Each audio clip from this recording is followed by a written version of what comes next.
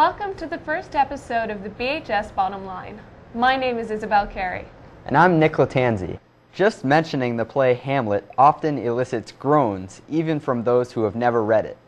Yet Belmont High School's Performing Arts Club had audiences laughing out loud with their production of The Complete Works of William Shakespeare Abridged earlier this month. And who could blame them? Under the careful instruction of new theater director Liz Smith, the cast willingly made fools of themselves, performing Romeo and Juliet in drag, rapping, and wearing anatomically incorrect costumes. For three nights, the Complete Works troupe performed for a sizable and receptive audience. The positive audience reviews of the play have set the tone for what many are calling a new and successful era of theater at BHS. Last week, Massachusetts voters elected Deval Patrick governor. Democrats also swept on a national level, gaining control of the U.S. House of Representatives and the U.S. Senate. On a local level, William Brownsberger won his bid for state representative against Republican Libby Ferenczy.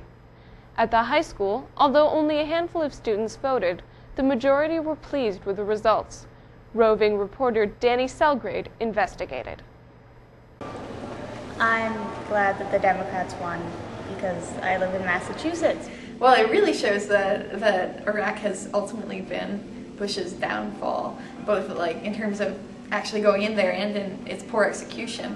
Um, I thought that the election this year was really great because we got the first woman speaker of the House in 217 years, and she's a Democrat from California, and she's done various things in both the state of California and in the nation. Um, he is in support of windmills. He was the only Democratic candidate that was, and so I was great. It was great. He won the primary and he swept the election, and um, hopefully we'll be seeing windmills in Cape Cod.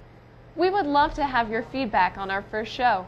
If you have any questions, story ideas, or comments, send us an email. BHS bottom line at gmail.com. I'm Isabel Carey. We'll see you next time. I'm Nick Latanzi, and that's the bottom line.